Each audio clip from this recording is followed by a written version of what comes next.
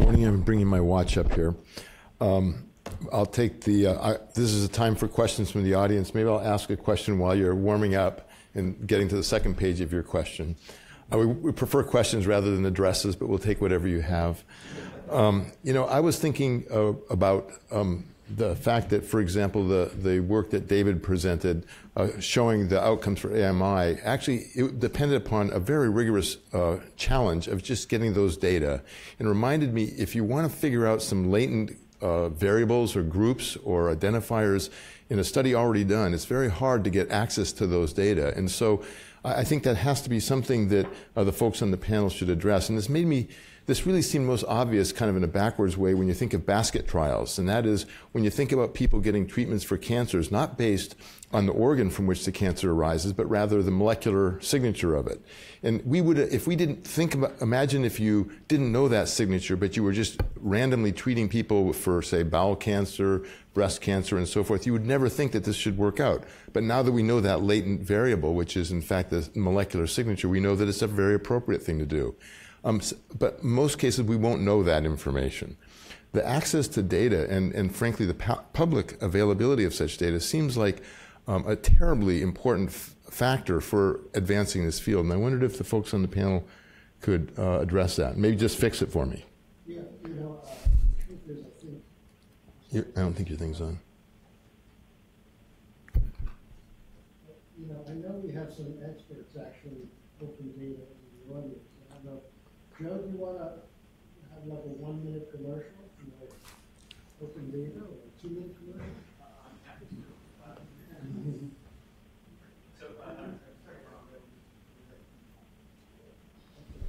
Does that work now? Can you hear me? So uh, I'm, I'm, Joe Ross um, from Yale. I'm a primary care physician there. Uh, and um, on open data, I'll just say the word, you know, there's a lot of different clinical trials that are now being made available by sponsors, manufacturers, the NIH, for, for uh, secondary research purposes. So I lead something called the YODA project, the Yale Open Data Access Project. We partner with J&J. Oh, there's Jesse. I thought you were in that seat. Uh, making we have more than 250 clinical trials that J&J is making available for secondary uses. We review proposals that are submitted, and, and then you know, David, your group has gotten data through us, and you know it's made available. But there's other groups as well. There's a large multi-sponsor platform uh, called ClinicalStudyDataRequest.com. That's GSK and Roche and a number of other companies making their clinical trial data available. Um, there's the NIH BioLINCC website, which is an extraordinary repository of uh, NHLBI data, uh, and there's others. Is that sufficient, or should I say more? Yeah, Bob, yeah, please. You have some data. Is there some way we can be sure that the mics are working?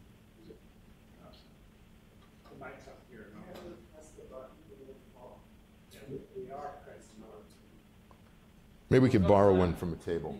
The other thing that's potentially interesting is whether you have retained uh, tumor samples. Um, my favorite example of this was was uh, uh, erlotinib for non, uh, treatment for non-small cell lung cancer. The company just happened to have a bunch of samples on about a third of the patients. All right had about uh, had sa tumor samples in about a third of the patients and went and did EG EGFR testing and found overwhelmingly that all of the effect was in the EGFR positive and there was no effect at all in the EGFR negatives. Well, if they hadn't had samples, they couldn't have done that. And, you know, as we learn, that seems like something worth thinking about too. I assume you'll propose regulation about that. Yes, Ralph. Maybe you should introduce yourself. Not that in this case. Oh, no, you want your mic back, I bet. Oh, it's, it's actually right here. All right, so this. That was not. So I had a, uh, often when we design therapeutic trials, it's we begin with some sort of understanding of a mechanistic pathway and process that generates the original uh, design of the trial. And then you want to go, and we want to do a lot of these subgroup analyses looking for treatment heterogeneity. And we use statistical modeling to help us understand uh, the uh, presence of the um, uh, subgroup differences. To what extent do you think you need to have a mechanistic appreciation and understanding of those subgroup analyses, what are the criteria for inferring that these uh, are, in fact, not just associated uh, observations uh, related to certain characteristics of the patients, but have the same kind of meaning that Bob was referring to when he was trying to explain differences that were observed in uh, settings. So, uh, are there criteria for inference making that extend beyond the modeling that uh, might identify some of these variations? Does that address everybody in the country or everybody? Including in the audience.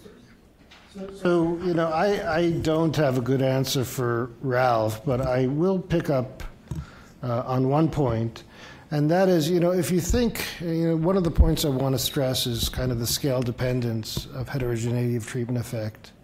When we do our forest plots, we're always looking at the relative risk.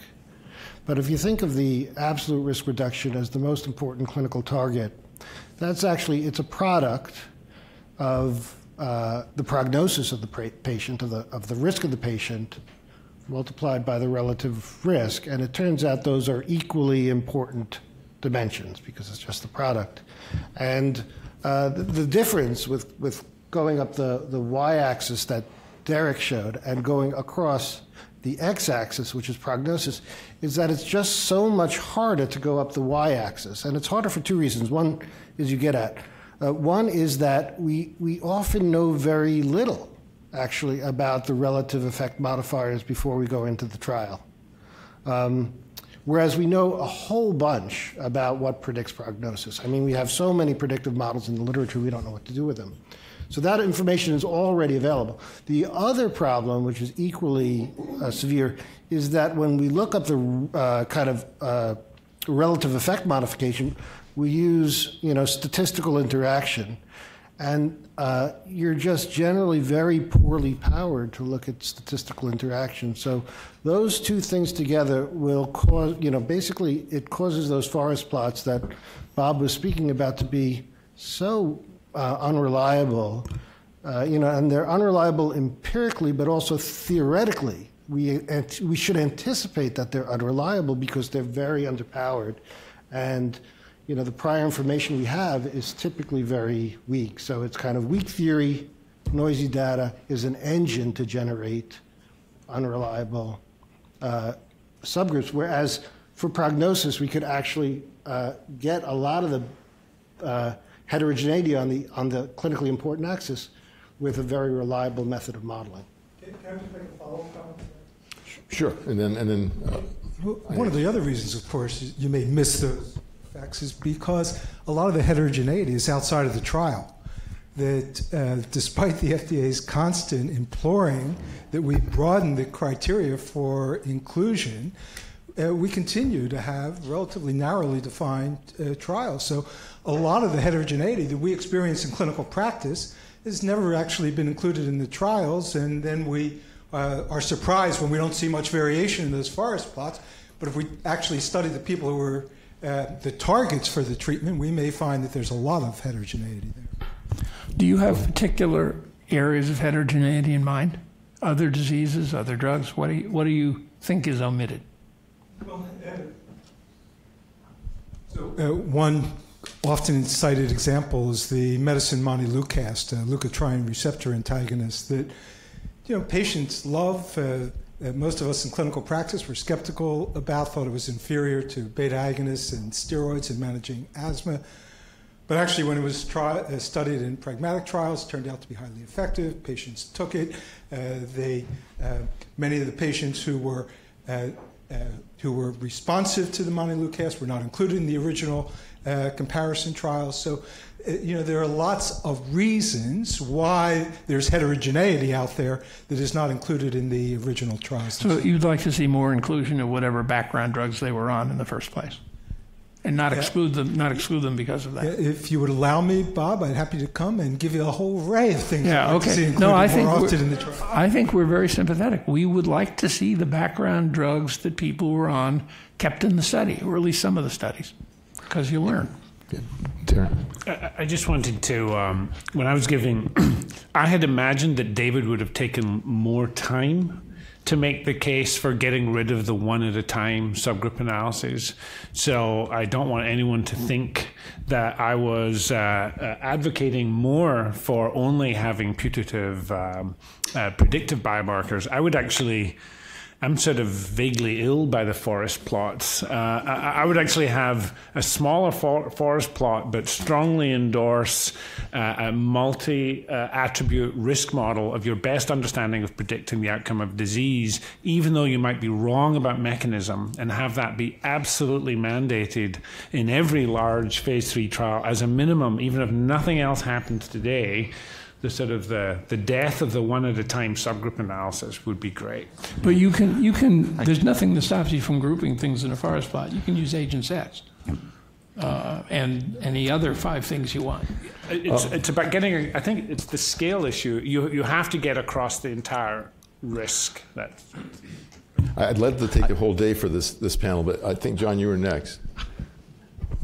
So, uh, John, please introduce yourself. Yeah, from. Kansas City. Um, so, first of all, you know, I, have been a real disciple of Rod and David and Peter's work in uh, taking lots of data from old clinical trials or open access data that that uh, people now have access to, like the Sprint trial, and running the models of heterogeneous treatment benefit. But what strikes me is that this ought to be a mandate for the initial release of the clinical trials. That, you know, when we, you know, our pathway to actually changing care is to do the trials and have them summarized in guidelines and then hope eventually people read them or they get endorsed into performance measures. And what I can't understand is why, when a major trial is released, there's not an online calculator so that you can apply the results from that evidence of that trial to the patient before you. And you know, to me, we've done enough work on the methodology, and it's time to make a call. The FDA could mandate this. Insurers could say we'll pay differently for patients who get more benefit or less.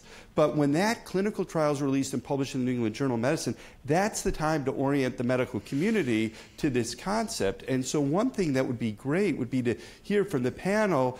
Uh, you're all going to say that's important. Yes, we should do that. I can see the nodding heads. But how are you going to make that happen? How are we going to start to, you know, create a call? And I know, you know, I'm working with Frank on the ischemia trial, a major investment of the NIH, and this is baked right into the initial, uh, you know, papers and publications that come out. And I'm just hoping that we can work fast enough that when it's presented at the ACC or AHA or whatever, there's an online calculator that somebody can go back and actually really understand the benefits and engage their patients in shared decision making.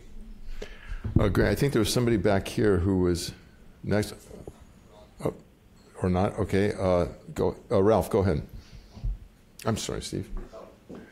We'll, we'll let the the, the uh, frequentists go first, and then the baby. I didn't think I looked anything like Ralph, although I didn't know which Ralph you're referring to. Well, I'm going to endorse. Ralph back there. I'm going to endorse the other Ralph also. Oh. But, but I want to ask you. I'm not following some of these arguments. Are we, is the idea that we shouldn't look at forest plots, or is the idea we should put them there, but be careful of how one interprets it? Because I've been I'm in the New England Journal of Medicine in terms of it. I've had many studies that have come to me where they didn't have the forest plots, and we say, look at it, and suddenly you find these bizarre things. And I think it's kind of useful to say in the paper, we didn't control for multiplicity, we have these confidence intervals, and this is what the data is showing, as opposed to say you shouldn't look at it. I'm, I'm just not clear on how you can ignore a concern about maybe that males are different than females, maybe whites are different than blacks. I was involved with the aspirin one. I was on the uh, panel when we were facing this aspirin difference and so forth. The, in Europe had, I think we, the U.S. I guess if I recall, had the higher dose of aspirin, and we pondered that and pondered that. Should we ignore ignored that? I mean, never know that, that that was the case, and there we sorted it out with the CAPRIE trial there was, there was this, situation of what kind of cardiovascular condition you had begin, to begin with, and one was showing results and strokes and MIs weren't and so forth. And we looked at that and we said, well, you know, scratch your head a bit. We don't think that the data is real and so forth, and had enough evidence to say that the clopidogrel is a good drug to use. And so I'm, I'm concerned about it, number one, on that, that we just, you know, we, we, we were facing this as if we we're fighting a religious war and getting rid of these subgroups and what have you. I think they need to be looked at with care. The other thing is, I'm on the other side is I'm all for predictive models. I, a good part of my life is developing predictive models. But when I do the clinical trials, I do a fair amount of clinical trials. The range of the variables is so damn tight that what are you going to be predicting? I mean, you know, the, like if you, are looking for blood pressure medication, you're not going to be putting people in a trial that have a blood pressure, systolic blood pressure of 110.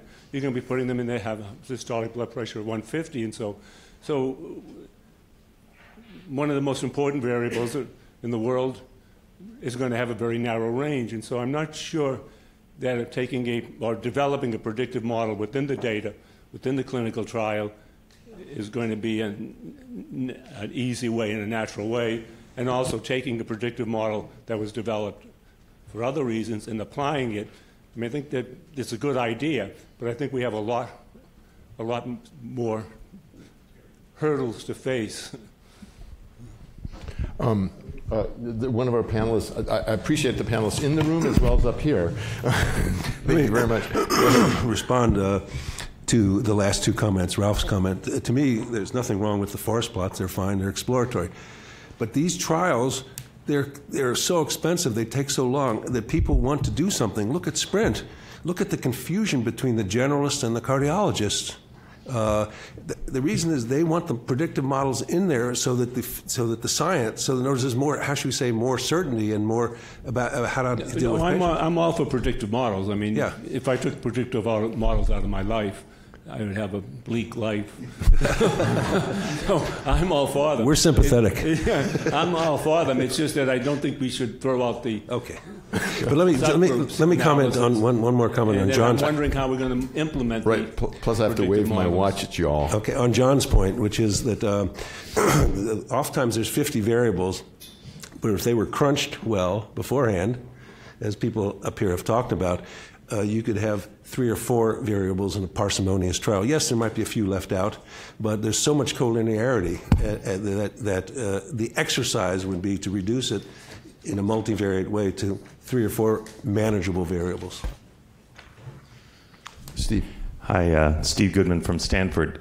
Um, I just wanted to ask how, uh, taking out the um, uh, the segment of the clinical trial population that actually might be uh, experiencing net harm. So let, let's just assume that we have this gradation, which you can show in virtually every trial, of small benefit to large benefit, um, if, if, if there's net benefit.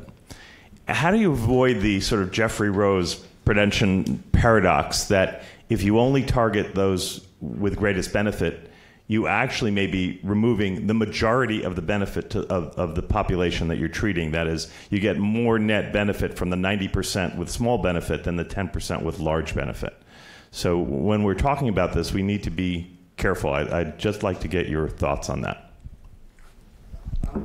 Uh, Rod wrote a paper on this. So yeah, that uh, actually we redid Geoffrey Rose's analyses. Uh, Jeffrey Rose was basing it upon your blood pressure or lipids. When you repeat his analysis, basing it on overall multivariable risk, you it it goes away.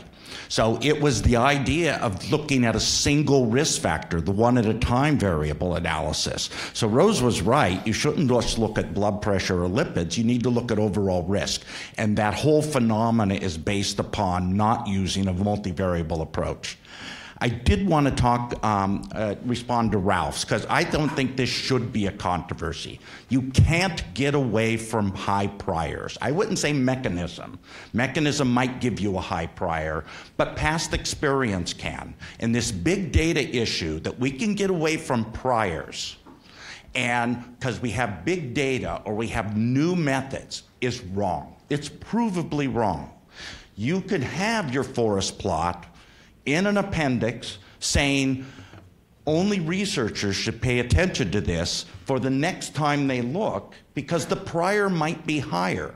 That's what um, Fisher proposed the p-value for is you get a positive p-value. Now that factor's worth looking at in the future not that the p-value magically makes it. So we have a mechanism. You need a high prior to look at these things Sometimes we have a mechanism, sometimes not. I mean, I don't know exactly why age does so many bad things to us, um, but uh, but we have plenty of evidence it belongs in most models, right? Uh, and so it's better if we know the mechanism, but you just need past empirical evidence good mechanism in theory, and underlying that statistically is a reasonable prior. For all your primary analyses, exploratory analyses, journals give us huge appendices now.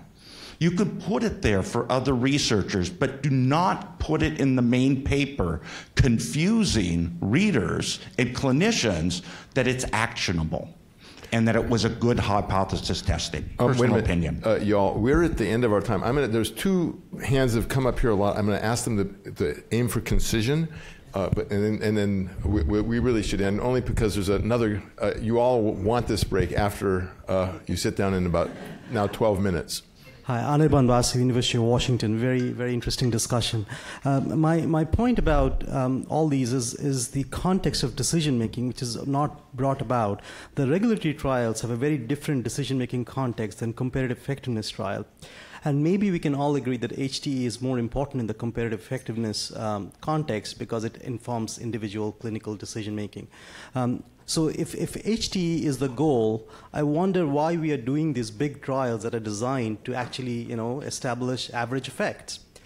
And if HT is a hypothesis generation exercise, which, is, which it is uh, at the beginning, uh, why are we spending so much money to generate hypotheses from trials and not do it from observational data and then follow it up with con- confirmatory trials? I guess we're waiting for Frank. I'll just say, you know, propensity scores can't cure everything. Well, propensity score is not the only observational methods that are out there. Yes. Uh, Frank. Frank Harrell, Vanderbilt University, and FDA CDER. Uh, I disagree with what you just said, but let's talk at the break. Uh, two points. I think the uh, forest plots are almost always misleading because they're not model based, and you can show that um, that you need to base the forest plots on very careful estimates. Uh, second of all, I think the panel has gotten too comfortable with uh, making an improvement over the way things used to do used to go with one variable at a time subgrouping that they're starting to make the same mistake with the uh, generalized risk estimation so i saw multiple graphs uh, dividing risk into tertiles or quartiles and uh, that really creates artifacts demonstrably uh, so if your risk model has any continuous variable in it such as age risk has to be continuous and any attempt to break it is going to create artifacts and, and false boundary conditions. Um, and I think uh, to model risk as continuous, uh, you'll, you'll also not need nearly the sample size that some of the speakers implies that you, that you need.